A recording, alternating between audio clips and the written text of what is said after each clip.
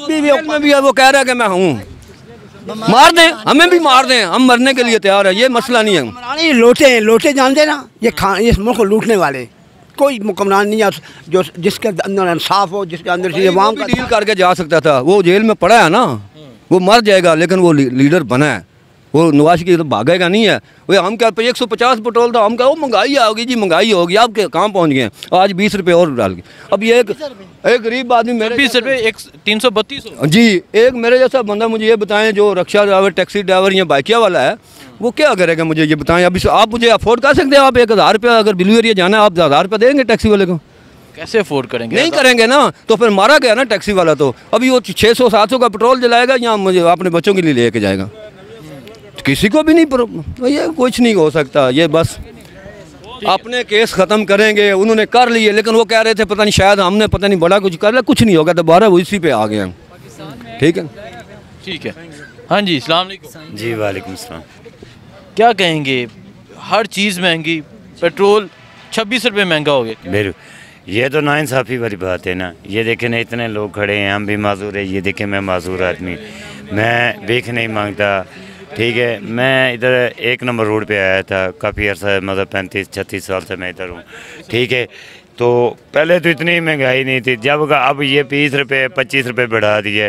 तो ये तो हम बिल्कुल रोड पे आ जाएगी। ये बस अपने पेड़ का सोचते हैं कि बस अपने पेड़ का, किसी गरीब का नहीं सोच सकते, जो मर्ज़ी हो जाए। भले भूखा भी मर जाए अब मैं इधर एक भाई है। भाई सर, भाई, ये भाई- ये वाला भाई समझ ले। ठीक है, अब इसको मैं ये कह रहा हूँ कि यार मैं सुबह नौ बजे जाया करूँगा। छब्बीस नंबर पे आपने मुझे ड्रॉप कर देना, ठीक है? उसके बाद बारह एक डेढ़ के राइट टाइम में आपने मुझे वापसी पिक करना है। यानी कि यूँ से गो, दिस माई वापस ठीक है ठीक है, बहुत शुक्रिया। चलें जी, आगे जाके मज़ीद लोगों से बात करते हैं। ये हालात हैं। ये भाई साहब हैं, सर, सलाम अलैकुम। वालेकुम सलाम भाई। आप रिक्शा चलाते हैं पेट्रोल की कीमत में छब्बीस रुपये इजाफा कर दिया गया क्या कहेंगे? इन लोगों ने बर्बाद कर दिया है और क्या कहेंगे इन लोगों को? इन लोगों ने हमारी तबाही कर दी है। सवारी को तीन सौ किराया मांगो वो कहती है दो सौ रुपए तीन सौ का पेट्रोल है हम किधर से लेके तीन सौ बत्तीस का हो तीन सौ बत्तीस रुपए लीटर पेट्रोल है। खुदा के बंदे इन लोगों ने बर्बाद कर दिया। इस हुकूमत बर्बाद हो दे तो अच्छा है भाई। इन लोगों ने खराब कर रख दिया है सारे लोगों को। ना रोजी कर सकते हैं हम मुल्तान से इधर रोजी करने के लिए आए हैं बच्चों के लिए निकले हुए हैं। छोटे छोटे बच्चे हमारे पाँच बच्चे हैं। इधर रोजी के लिए निकले हुए हैं तीन सौ बत्तीस रुपये लीटर पेट्रोल है अभी कैसे कमाएँगे तो कैसे खाएँगे? ये बताओ। बिजली के बिल आते हैं। जी बिजली के चीज़ में। हर चीज़ महँगी है हर सब चीज़ महँगी कर दी है उन लोगों ने। बस वो क्या कह सकते हैं यार अल्लाह उन लोगों को बर्बाद करे बस मैं तो यही कहता हूँ। तो जो बेहतरी करने आए थे। क्या बेहतरी। क्या बेहतरी की है उन लोगों ने सारी। साहब बेड़ा घर कर दिया है बेहतरी करते करते उन लोगों ने बर्बाद कर दिया है। ये तो कह रहे थे महँगाई कम करेंगे महँगाई में अभी हम देख लो कैसे लॉन्ग मार्च करेंगे क्या करेंगे ये महँगाई इतना बढ़ा दी है इन लोगों ने सारी समझ भी नहीं आता। गुजारा मुश्किल है। गुजारा इतना मुश्किल हो गया कि जीना मुश्किल हो गया कि गुजारे की क्या बात है सारी। अक्सर लोग वो खुदकुशी करके करके मर मर के जा रहे हैं वो आप बेचारे। ठीक है जी बहुत शुक्रिया। ये एक और भाई साहब है। हाँ जी अस्सलाम वालेकुम। अस्सलाम। आप भी रिक्शा चलाते हैं क्या कहेंगे सर पेट्रोल इतना महँगा कर रही है ये बजाय गरीब को रिलीफ देने की बजाय उनको मार रहे हैं। अमीर जो बंदा है वो महँगाई होगी तो खुश होगा। गरीब बंदा थोड़ी सी महँगाई होगी और मारा जाएगा।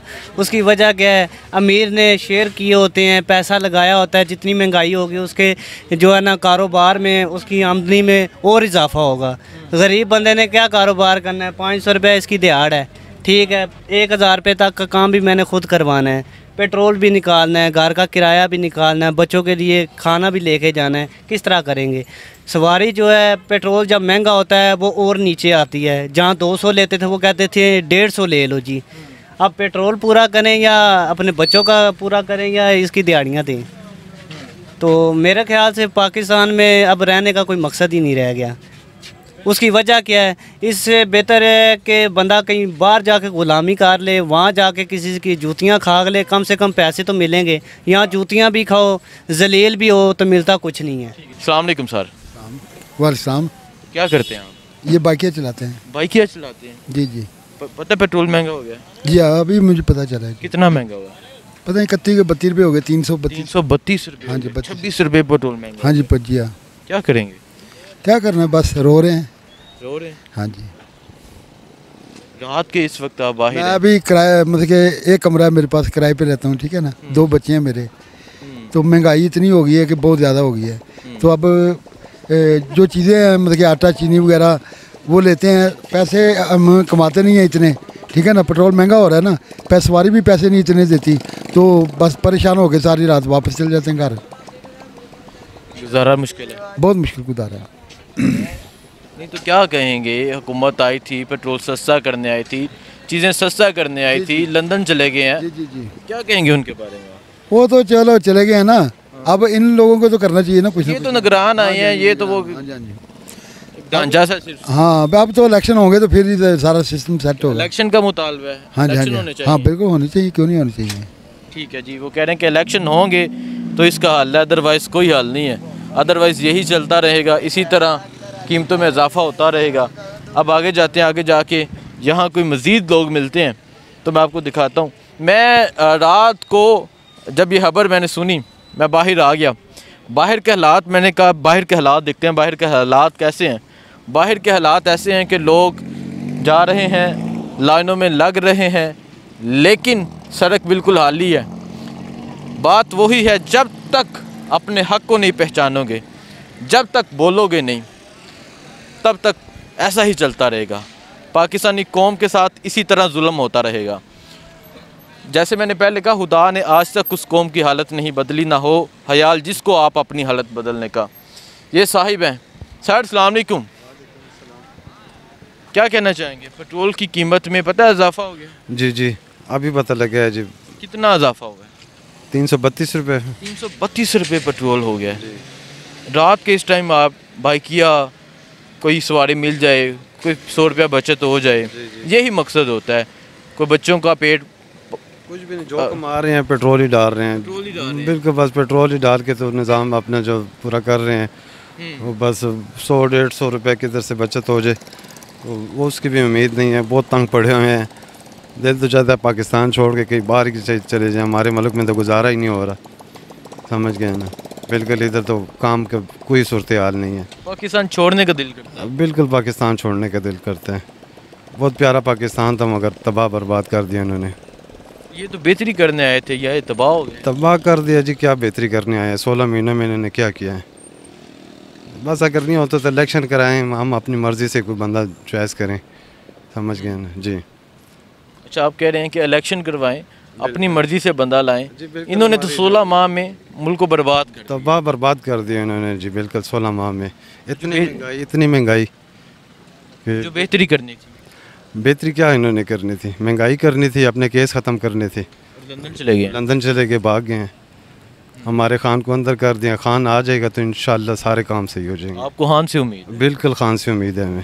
खान को अटक जेल में करके खुद लंदन। खुद लंदन बैठे हुए हैं। हमारा खान आएगा तो इन सारे मामला ठीक हो जाएँगे।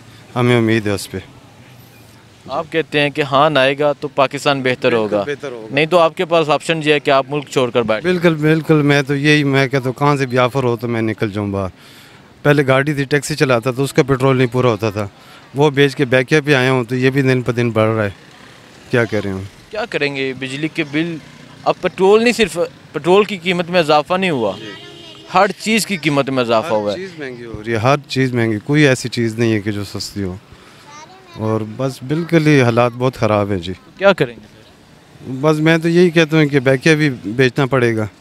तो कोई देखते हैं कोई वसीला बन जाए बाहर ही निकल जाए क्योंकि अपने मुल्क में नहीं गुजारा हो रहा जी।